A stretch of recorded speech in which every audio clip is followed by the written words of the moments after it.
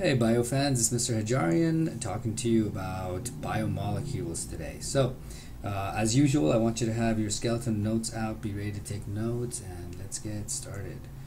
So this first slide, um, this one's basically talking about the different elements that we have in our body and the percentage of them that we have. So you do not have to memorize these numbers. So please don't feel like you have to memorize 63% oxygen and whatnot. But basically, it's just kind of a fun fact telling you approximately what percentage of each oxygen of each element we have in our body. And the human body is approximately 60% water.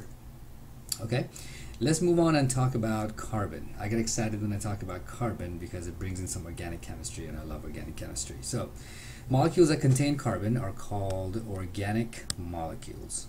Okay, organic is anything, any molecule that contains carbon. Don't mistake that with uh, sort of the other term organic when we talk about you know buying organic foods or fruit. That's really talking about how maybe it's not GMO uh, genetically modified or that it's not exposed to pesticides. When we talk about organic here we're saying that it's a molecule that contains carbon. Each carbon atom forms four bonds and carbon can, can form single double or triple bonds. So let's take a look at this first one right here ethane. All right? I want you to notice it has two carbons in there. All right, so I'll draw it up here. It's got carbon, carbon, and then it's surrounded by lots of hydrogen. So if you just focus on one of those carbons, let's focus on this one right here. What does it have? It's got one bond, two bond, three bonds, and then this would be the fourth bond right there. So each carbon has four bonds. Uh, let's move our way down. Let's see. Here's propane, butane, 2-methylpropane. Let's go to 1-butene right here. What I want you to look at is this first carbon right there. It's got, so we got a carbon, we got hydrogen, we got hydrogen, there's nothing down here, and then we got a double bond to another carbon right there. So if you count the number of bonds, we got one, two, three, and four. Okay, and here's an example of a ring. So we got benzene right here and cyclohexane right there.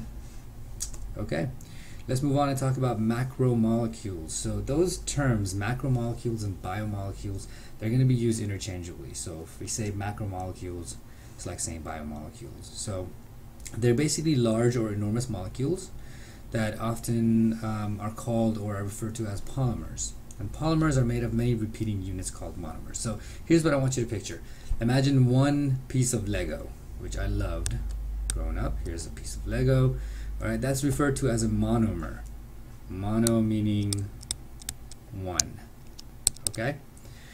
Now, if you put another piece of Lego next to that, now you got two pieces. What do we call that? We call that a dimer. D-I, so dimer.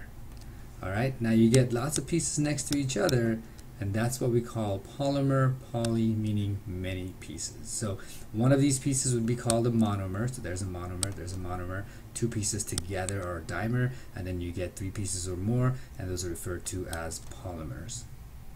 All right. Uh, let's see. Examples of macromolecules, plastics, but we'll be talking about specific types.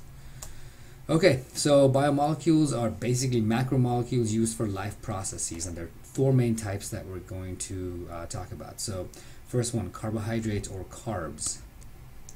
Next one's lipids, fats and oils. Next one's nucleic acids, and then lastly, proteins okay and these are basically the, the, things that make up carbohydrates sugars and starches what makes up lipids or fats and oils and so on so here are some examples of carbohydrates which I enjoy very much. I love bread and who doesn't like pasta? Okay so main energy source is carbohydrates. The monomer for carbohydrates is known as monosaccharides. Again mono meaning one saccharide meaning sugar. Okay?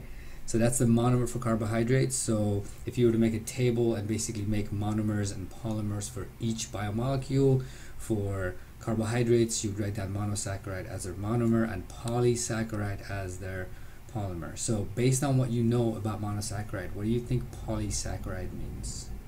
Poly meaning many, saccharide meaning sugar, so many sugars. Okay, and again, these are some examples of carbohydrates.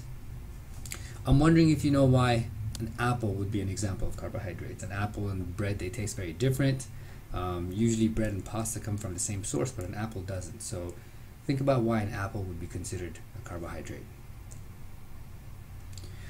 Uh, big molecules like starch, glycogen, and cellulose, these are things that um, we will get into. Cellulose is a sugar. Anything that ends in OSE is going to be a sugar. Uh, we'll talk about glycogen a little later on. Um, and starch is basically long chains of carbohydrates. So starches here could be things like pasta or bread. Okay, lipids. Lipids can be very tasty, as you know. Things like butter,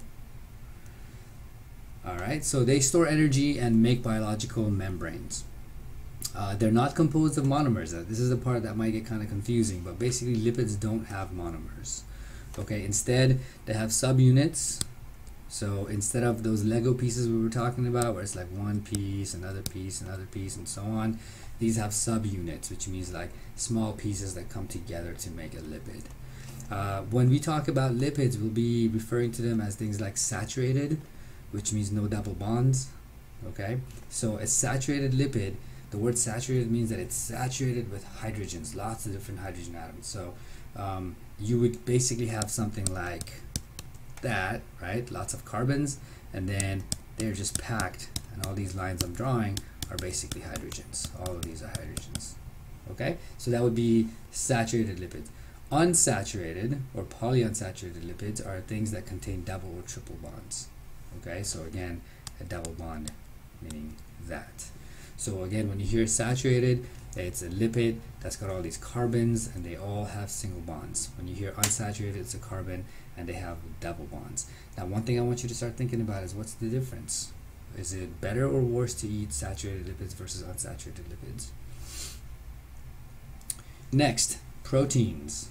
All right, so where would you get proteins? Here are some examples. You got beans, uh, nuts, eggs, uh, chicken, looks like beef, fish, lots of different examples. Okay, many functions. Uh, proteins basically make up our muscles, our hair, and they actually make up our enzymes and hormones. Okay, now remember, enzymes are protein based. The monomer for proteins is known as amino acid. That is the monomer. The polymer is basically called protein. That makes it easier to, to memorize and to know.